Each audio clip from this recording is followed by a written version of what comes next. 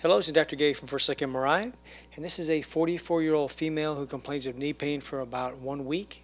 She's had no abnormal activities, no prior trauma, just knee pain that won't go away.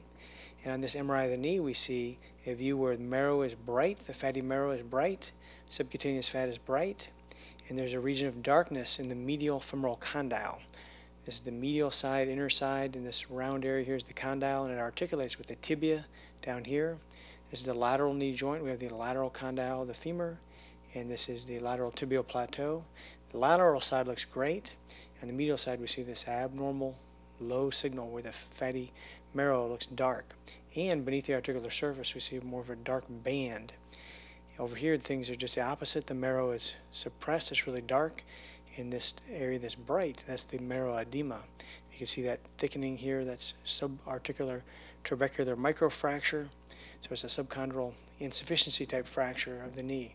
Often we see these in people who have a tear of the meniscus root. This dark band is the meniscus. They have a tear sometimes in the posterior horn or meniscus root, and the meniscus doesn't do a good job, and then they get this abnormal stress on the femur or the tibia, in this case, the meniscus looks intact, so there's no meniscus tear that's causing this. So this is just a case of what we call insufficiency fracture. She may have osteoporosis or some other problem that's causing her bones to be weak. And she's getting, again, the trabecular microfracture and the reactive marrow edema. In the past, we used to call this spontaneous osteonecrosis.